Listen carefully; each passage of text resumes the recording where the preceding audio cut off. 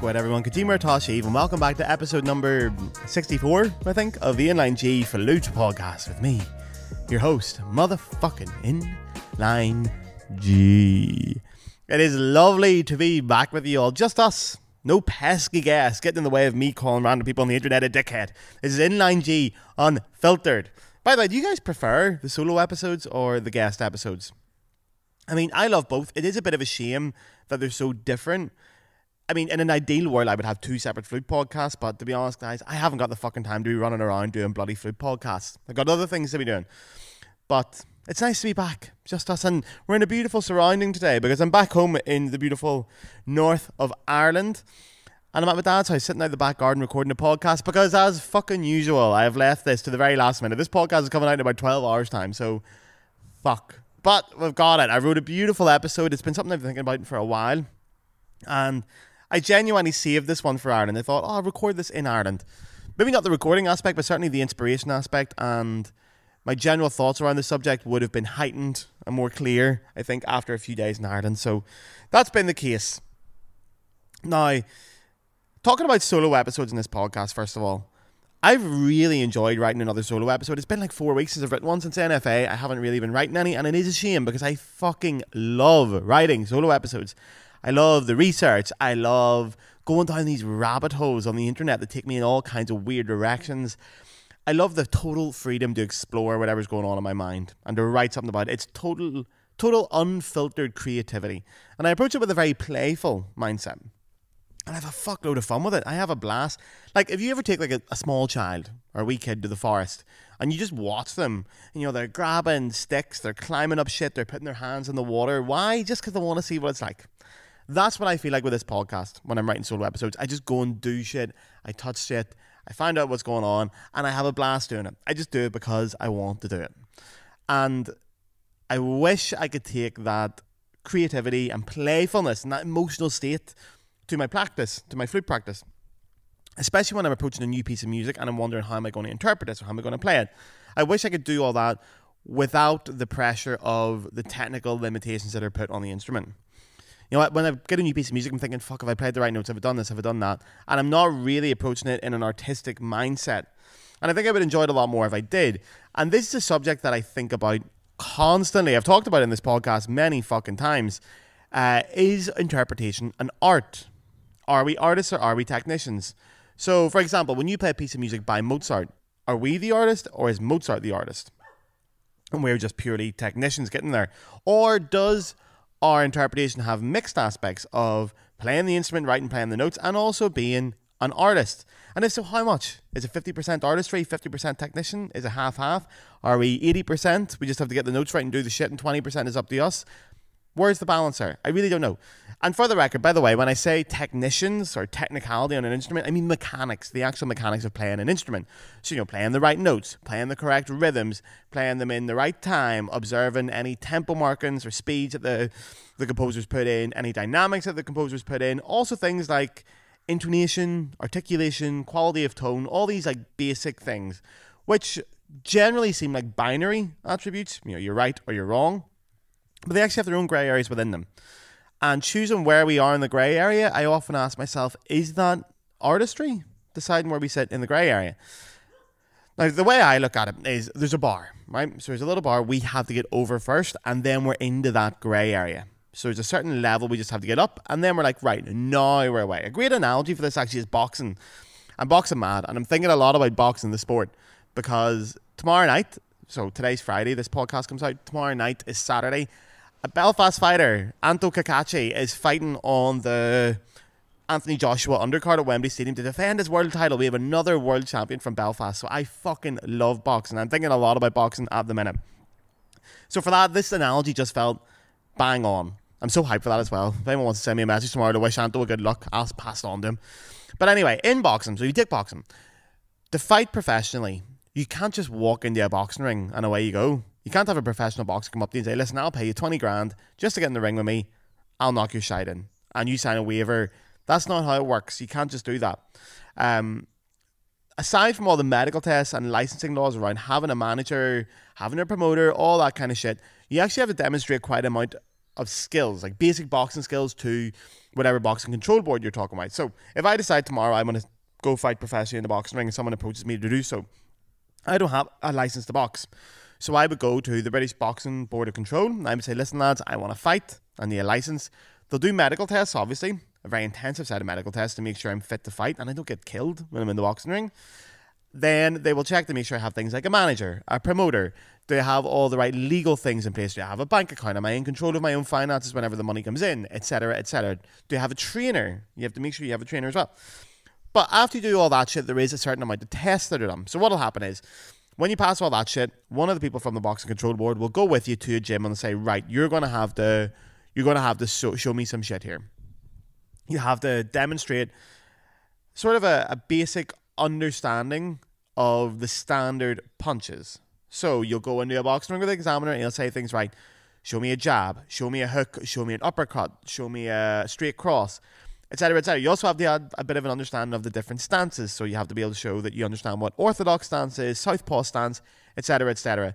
You have to know what your rules are with holding on to your opponent, when you can go to the referee, about counting, all that kind of stuff. Now, this feels like it's to make sure that professional boxing doesn't become some kind of outlet to let angry people go and batter each other without any police intervention. And that is that is kind of true, to be really honest, because a lot of people want to do that. But its main reason is safety.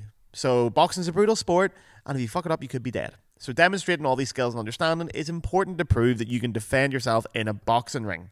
It's also why you're crucially tested on your ability to defend all of these aspects. You have to show that you can safely defend yourself in a ring. So this test is purely technical. You can you can prove to everybody that you have the basic technical skills necessary to look after yourself in a ring. That's it. That's the main line. Once you get your license, then you can go box. Away you go. Fill your boots. Box however you want. Now the danger and the threats of boxing are still there. But avoiding them then is up to your own personal skill, your training, the temperament of the fighter. But that basic test has been passed and you're allowed to go. Now, I won't get into how sport for me is an art form because I do believe sport is an art form. But to bring this all back to flute playing, all these aspects of technicality have to be passed before you can get into the ring of interpretation. Isn't that a beautiful analogy, lads? Fuck me. I'm so proud of that, boys. So proud of that. So, the test to get your license to interpret. There we are. License to interpret. That's a good name for the episode, isn't it? the license to interpret. Fuck. But anyway, the test to go and interpret freely, in my opinion, is binary. So, when you're playing a piece of music, you have to get your test first, and the test will be things like you have to play the right notes. If it's F sharp, you have to play a fucking F sharp, okay? If it's a group of triplets, you have to play an even group of triplets. Uh, the notes have to be in tune basically in tune. Within that little range of tuning, they have to be in tune. If the composer wrote forte and piano, you have to show that there's a difference between those two things. Um, if they're written to tongue some notes and slur some notes, you have to make sure some of them are tongued and some of them are slurred. And you have to have, even on tone, you have to have a generally consistent tone throughout. You can't be dropping notes or splitting shit. That's the basic binary right and wrong tests. Now, once you've passed all those things, you've got your license. You've got your license to interpret. Then you can go and get into the subtleties of the grey areas because there are subtleties. There are grey areas within all those aspects. They're not binary, but you have to pass the test first, get your license to box. Now you can come into the ring. So, talking about the grey areas, rhythms, let's start there. Rhythms have room for interpretation. Okay, yes, there's right and wrong. Triplets have to be played three even groups within one beat. That's true. But, like, take a perfect example. Have you ever heard Jimmy Galway play like a long scale in Mozart? like a group of semiquavers which are meant to be dum da da da dim, and he'll do dum da da da da dim, and he'll pick the notes up. So he'll slow down the first two and delay the rhythm, and then catch what he's missed in terms of timing at the end of the scale. That's not in time. Like that's not bang on the rhythm, but that is an interpretive choice. That's totally fine. You can do that. Okay, that's a slightly more extreme example of it, but we all do this. When you get towards a cadential point or towards the end of the piece, you slow down a little bit. Even if it's not written into the piece, you slow down because that's just fucking normal to do. That's an example of that. There's a grey area within interpretation, grey area within uh, rhythm, intonation. There is a grey area within intonation. There is not right and wrong. Fucking tuners are not in tune. I will die on this hill. I did an episode on this. Tuners are not in tune. Okay, tuners are basic. Yes, you have to be able to play in tune to a tuner. If you're playing with a piano to an extent, but there's still grey areas within them. If you make a note slightly sharper or slightly flatter, you will colour it differently. I'm not talking to the point where it becomes a semitone or even a quarter of a tone, but still changing it will change the color, and that is artistry. That is your choice to do. If you don't agree with what I'm saying, go fuck yourself. Go watch the episode. Okay, go watch the fucking episode I talked about intonation because it took me a long time to research that episode and it's fucking right. Anyway, so articulation next. Yes, okay, so the composer might say you have to tongue this and start this, but what kind of tongue? Because the, the composer doesn't go into that level of depth. You know, obviously the tongue in your mouth you're using. but like seriously, do you use a soft d sound? Do you use a more pointed t sound? Like there's so many options within. That's a spectrum within itself, going from D to T. Sit with your mouth now and play with it. Go d d d d d d d d d. Switch between D and T. There's a whole fucking world in there of what you can play with. Which one to use? That's your choice. Tone. Fuck me, I could go on for days about tone, but tone, there is obviously a grey area. There is a binary. Okay, you have to play with a nice tone. There is a basic line of a nice tone. What that means is there's no splitting, first of all. The sound is focused, there's no drop in the sound. General basic tone. After that, the world's your fucking oyster. You know, what are you going to do? You're going to make this one a little bit darker, a little bit lighter essentially you're going to add a more richness to your sound by putting in those lower harmonics and searching for a sound that's richer, or you're going to make it a little bit lighter. Or you you can even the air the airiness around the sound, that fluffy sound, that can be used really well to beautiful effect if we want to. And again, within that, there's an entire spectrum. So there's so many different fucking things you can do, and all these things are interpretation. You get to play with these things after you get your boxing license, okay, or your license to interpret. Fuck me, I'm losing my own analogy. And in my opinion, any form of interpretation is inherently an art. Okay? And we should talk about art because art isn't some fucking highfalutin, fucking abstract idea, despite the fact that Americans love to throw the word about in that sense. Art is simple. Okay? Art is art is really just expressing yourself or expressing something through a medium. So you can express anything. You can express an emotion, an idea, a concept, a scene, a colour, a smell, the taste of Denny's strawberry cheesecake French toast. And you do it via something. So it could be poetry, it could be fiction, podcasting, for example. It could be acting, painting, drawing, singing, dancing, playing a fucking instrument, etc., etc. Ad infinitum is endless. So interpretation of technical aspects, in my opinion, is itself an art. But what's been getting me for so long on this subject is do I call myself an artist when I'm interpreting music written by someone else? Am I the artist? I always feel like I feel like Mozart is the artist. For example, if I'm playing Mozart and it's my role to get Mozart's music from him to the audience. I'm an intermediary. And although I know these there's an artistic expression involved in doing this, I'm aware of that. I wonder if there's enough of an artistic expression to justify the title of artist.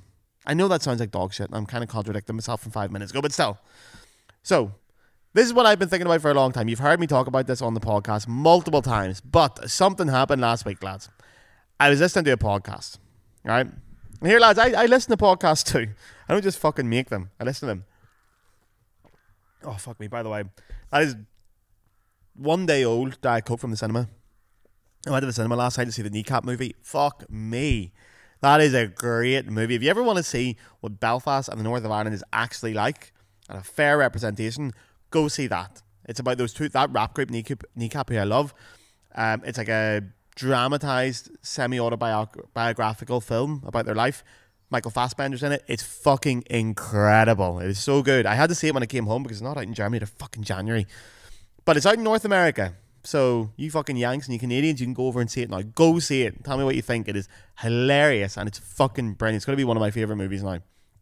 But anyway, back to the podcast. Now, podcasting. One of my absolute favorite podcasts in the world on God's green earth is the Blindboy podcast. Now, I don't have many Irish listeners on this podcast, unfortunately. But the few of you out there will know who Blindboy Boatclub is. You might know him for being in the Rubberbandits, who had the song Horse Outside back in the early noughties. But you might know Blindboy for his other things. Now, Blindboy Boatclub is a pseudonym that he uses when he does podcasts and when he writes fiction or short stories or when he makes music. And he's wonderful. He's a great artist. One of my favorite people. I've been listening to his podcast for years, every single week. Um, and if you ever go and listen to the Blindboy podcast, you will notice similarities with that podcast and this one very, very fucking quickly. That one has had its fair influence on me. I'm not gonna lie. No, I didn't steal anything, so don't fucking come for me. Yeah, what's that phrase? Good artists borrow, great artists steal. So go fuck yourself. I don't know who said that, but whoever said that phrase was definitely a fucking thief. But anyway, Blindboy had this live podcast in Bristol, and his guest was a woman called Clare Murphy. Now, Clare is an Irish woman, and her professional job, her life, her career is a storyteller. Now, I didn't know that that could be a profession in 2024. You can be a, storyteller as a job. And hearing Clare speak was fucking incredible. So I went to her website because I tried to figure out a way of how I could sum this up to you guys. So from her website, this is what it says. Uh, storytelling. Since 2006, Clare brings the ancient art of story firmly into the contemporary world where it belongs. Her story repertoire includes Irish mythology, wisdom tales, history, world folklore, and quantum physics. Has told stories to President Mary Robinson, the All Blacks coaches, mission critical teams, school children performing on stages and in festivals around the world. Clare also teaches storytelling skills to communities worldwide, including asylum seekers, social entrepreneurs, climate change scientists, fighters, and limbless veterans. So, in this podcast, the Blindboy podcast, uh, Clare talks about her career as a storyteller, what it means to be one, and why the role is so important and what's involved in it. What what is a storyteller? Now, Ireland, we'll get into this because Clare's Irish. Ireland has a long history of storytellers and storytelling. It's properly ingrained in Irish culture. Now, before I go on, because I know I've got you on the hook there. Before I go on to how all this translates into interpretive music, I'm going to do my uh, my Patreon read. Need to get this out of the way, lads. So, if you've actually went and listened to an episode of the Blindboy podcast, you'll notice that what I'm about to do in my Patreon read in general, what I always do, is borrowed heavily. Heavily borrowed. There's a great word. No, sir, don't arrest me. I was only heavily borrowing it. Go fuck yourself, officer. Okay. So, guys, uh, the Inline G podcast is free and always will be free. However, if you want to donate to the podcast, you can now do so through the Patreon. On the screen now is the address, and for the audio listeners, it is patreon.com forward slash the Inline G Flute Podcast. It costs five euros a month, whatever that is in your dollars or pounds. And with that, you're genuinely keeping this podcast alive. Listen, you get four episodes a month of this podcast. Come rain, nor fucking shine. And if you saw me in a pub and you thought, fuck, I love what Gareth does, I listen to all the episodes, I'm going to buy him a pint to say thank you, you can do that online now. Okay? I do everything around here on my own in this podcast, including marketing, graphic design, research, scripts, audio production, video production, you name it, I fucking do it. Becoming a patron helps generate a regular income for this podcast, meaning I can turn down other work to focus on it. It also means I'm getting paid as an artist, which in 2024 is not an easy fucking thing to do. So, uh, you'll maybe get the odd little benefit. I've thrown about some trading cards for free. You get your episodes a little bit earlier, but generally, you're doing it to support the podcast, and it is hugely appreciated. If you can afford to do it, it's just a fiver a month. It is genuinely so appreciated. Fuck me, I cannot tell you guys how happy I am that people are giving their hard earned money to me, to me, this podcast. So thank you very much if you are a patron. If you can afford to, it is incredibly appreciated. But listen, if you can't afford to do it, it's a hard time. Times are tough, especially for artists. There's a cost of living crisis. Don't worry.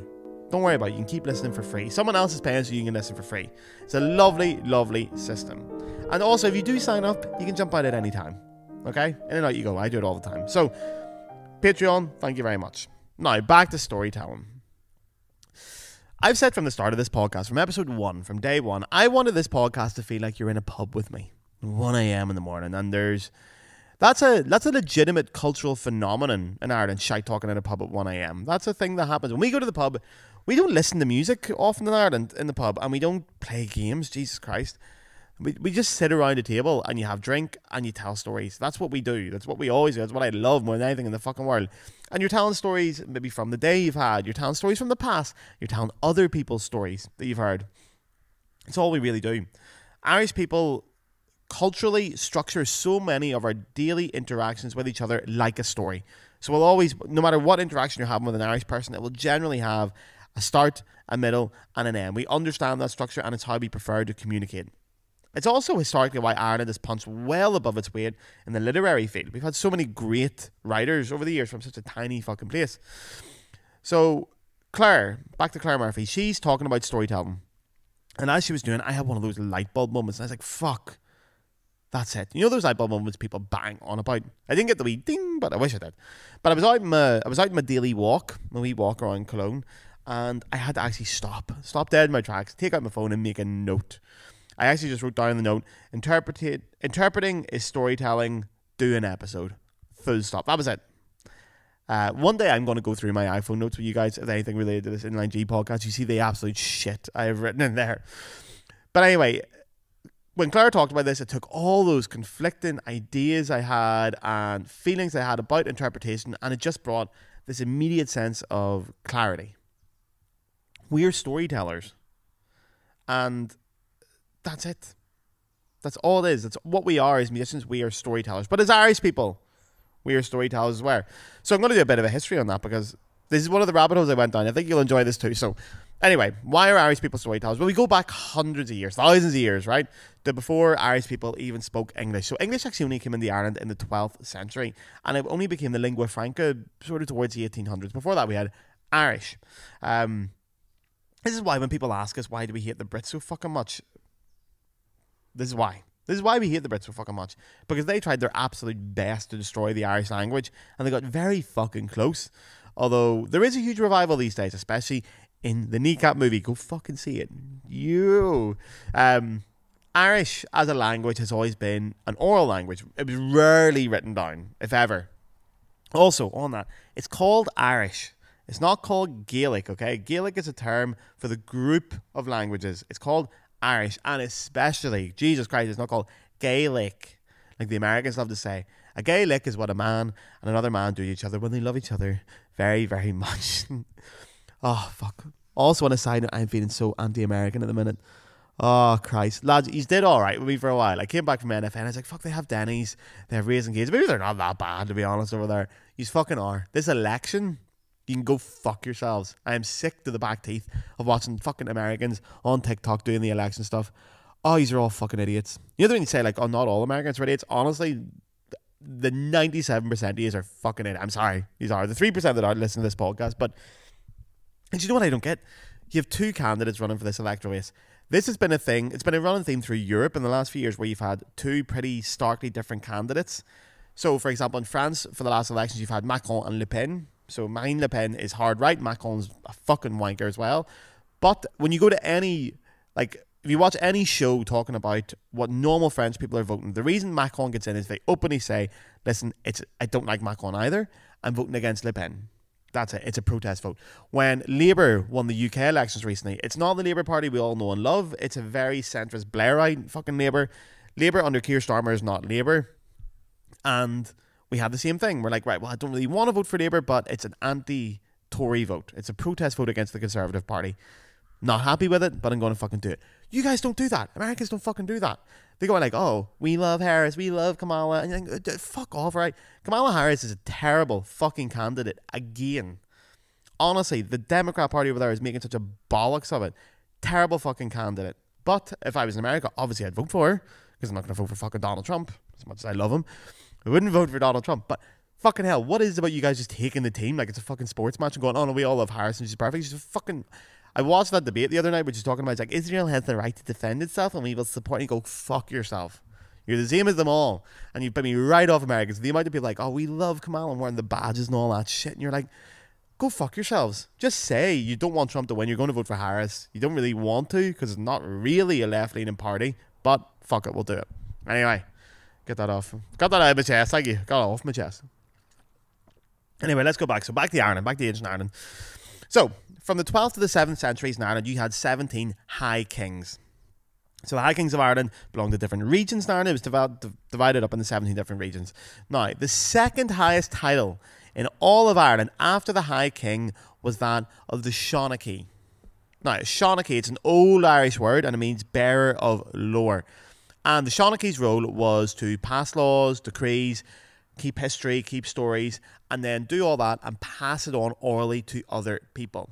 So you would think of your Seanchaí as your local historian, it'd be your library, it'd be your genealogist. It's all rolled in to one person. We didn't write anything down. Irish was purely oral. So if you wanted any information in your village about anything, you went to the Seanchaí. He would tell you, and he kept it all up in his head, and he told the stories, and he told the lore, And if you want to know who your great granny was, he'll know it as well. That's what Seanchaí did. They held all the world's information, and their sole job was to share this information as ac- accurately as possible. And then they'd also be responsible for training a new Seanchaí, who the new one would then hold all the information that they've been passed on from the previous one and be taught how to gather new information. Um, but one of the Seanchaí's great roles was to pass on stories of folklore and mythology. Things like the, to- the tales of Finn McCool or Cuchulainn, these great Irish mythological characters. Now, unfortunately, many Sean were eradicated during the English invasions, the many fucking English invasions, and the subsequent destruction of Irish culture. But some still exist today. There's still the odd Sean knocking about. One famous example is a guy called Eddie Eddie Lenihan. Now, Eddie's still alive. Eddie's only like, what, 74? Something around that, 74, 75 now. Irish people will be familiar with Eddie, especially because he did like the odd bit of TV and a bit of storytelling on the radio and all that kind of stuff. He's a practicing Seanchaí. He keeps the tradition alive today. But he's probably most well known for his per, uh, preservation campaign he did in 1999 out in County Clare. So in 1999, the Irish government had approved the construction of this brand new motorway, or highway for my less educated listeners. And part of this motorway passed through the town of Latoon. Now, Latoon's down in County Clare. It's a wee tiny area. It's not even really a village, to be honest. Now, as the plans were unveiled of where the motorway is going to go, it came to everyone's attention that it would pass through a hawthorn bush, just common hawthorn, nothing special, common hawthorn bush, and they'd have to cut down the bush to make way for the motorway. Now, however, locals knew that this particular bush was known to be a fairy bush. It's where the fairies lived. And it was actually noted that this particular bush was a meeting place for Munster fairies, the region of Ireland, when they were preparing to go to war with the Connaught fairies. So it's one of the four provinces of Ireland. You have Munster, Connaught, Ulster, and Leinster. So that's where they would meet before they would go to battle. Now, I should say here, by the way, when we're talking about fairies, for my non Irish listeners, we're not talking about fucking Tinkerbell. Okay? Irish fairies are a very different beast. They're dangerous, capricious entities that you should not fuck with. That is a basic rule. For example, up until worryingly recent, like we're talking about the 1980s, out in Connemara in the west of Ireland, one of the strongest beliefs of the fairies is if you have a child that is born with some kind of physical deformity or Down syndrome or things like that, the belief was that the fairies were punishing you for something you did. So what they did was they snuck in at night, stole your baby, made a copy of it, and gave you a poor copy back, and that's why your baby had physical deformities or Down syndrome. They're bad bastards, fairies. You want to stay away from them. Um, so anyway, this particular type of bush was known as a ring fort. Now, when Eddie Lenihan heard that they were chopping it down for the motorway, he started this huge campaign to stop the Irish government. And he actually he wrote a letter to the Irish Times, an open letter that was picked up then by the New York Times in 1999. And it said, actually, I've got a line from it here. It says, If you move or destroy a fairy fort or a Celtic ring fort, you'll be in trouble and you're creating trouble. Never shift a fairy bush. It belongs where it is and nowhere else. And it worked. So the Latoon Ferry bush stayed. Eddie was successful and it stands there to this day, that bush. And there's loads of stories like that. There's hundreds of them in Ireland. There's actually one in fucking. Annacloy is about it's about two miles that way. Just down there. You can walk it from here. Annacloy in 1964, there was a huge building project planned and it was abandoned because the builders found out that it was a Celtic or a fairy ring fort or a Celtic ring fort, and they abandoned it because the builders were like, "Fuck that, we're not building it. We'll be dead within a week," and they just refused to work. They went on strike. Just down the road here, that happens all the time. You know, even University College Dublin, one of our great universities in Ireland, made a statement about all this, saying. Uh, where is it? While the people of modern Ireland scoff publicly at fairy stories, ashamed to admit their beliefs and superstitions to strangers, there is still strong vestigial belief in the fairies. I I don't know if I believe in them, but you know, better fucking safe than sorry, to be honest. So we have a lot of these tales, and you won't find many of them on the internet. Don't go googling that now, because they're all local. They're very small local stories. Even in this wee village here, where I am now, called Annahilt, there's all kinds of fairy stories and ghost stories and banshee stories that you'll only hear at a pub from a local. And that is essentially the role of a Sean So back to Clare Murphy she said some things in this interview which really, really got me thinking. Firstly, she said the role of live storytelling is vital, and it's kind of comparable to reading a Shakespeare play and seeing one live. She didn't say Shakespeare, but I'm throwing that in for you. Reading the play or seeing it live. The words are the same in both, but you have a collective experience, first of all, together of seeing this live. And that's a totally different aspect to it all. And it gives a totally different emotional response to the entire piece of art. But also the actor's timing, their tone, their turn of phrase, their movements on stage, they these are what make the words truly come alive. And it makes them resonate with us on a much deeper and more profound level. And then she says something which again I had to stop, lads. I had to stop and take out my phone to make a note of. She said, The role of a storyteller is to make sense of a story in the now. Bingo. That's it. That, that was like, fuck. That is brilliant. She's a fucking genius. Because, like, when you tell a story, right? There's how you're going to tell it depends on a lot of different factors. So some of them are very personal. How are you feeling that day? Um, what what kind of general period is going on in your life at that time? Are you going through difficult things? For example, a complicated and nuanced story with a few emotional twists and turns may suddenly find the more humorous parts getting special attention and weight on an especially good day for you. Likewise, if you're going through something difficult in your life, it's natural to notice the parallels between your emotional state and any corresponding emotions in the story. So if you're going through a bereavement and the story features a death that maybe previously you just sort of rolled over is the wrong word, but you maybe breezed past and didn't pay too much attention to. Um, yeah, you didn't pay too much attention to put too much weight on. Suddenly, that death become much more poignant, and it means you're going to express it in a totally different way than usual.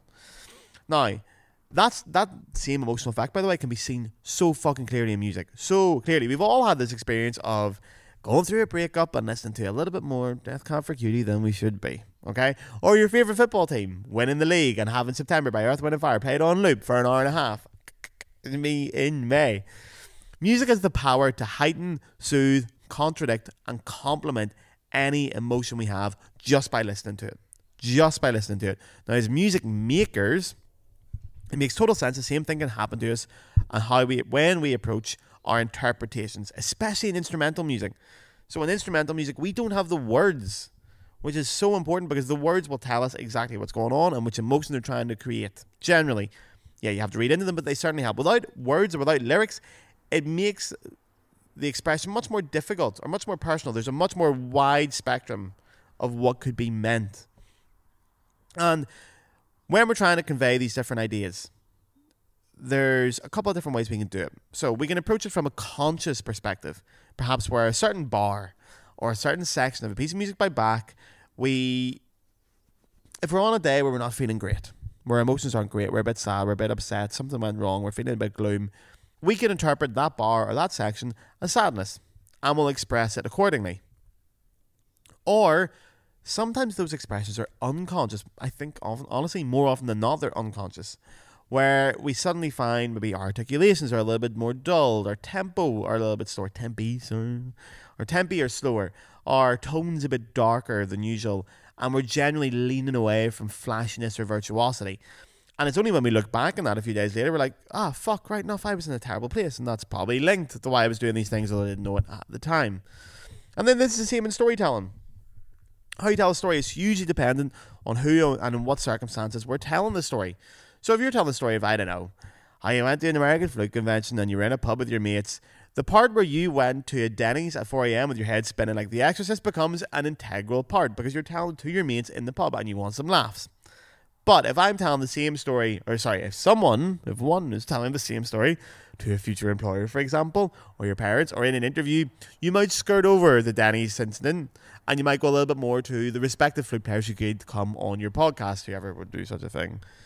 In both cases, the story is the same, but it's bent and molded into a shape that best suits the audience. And that is a vital aspect of creating music, especially when interpreting the music of others.